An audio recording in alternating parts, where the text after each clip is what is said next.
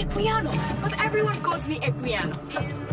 Check out my home. It's magic. Follow me. Mama, you are such a great warrior. Not like the rest. Your journey extends far beyond this village. You will live worse, but also greater than us. Brother, be quick. I don't like to be here alone.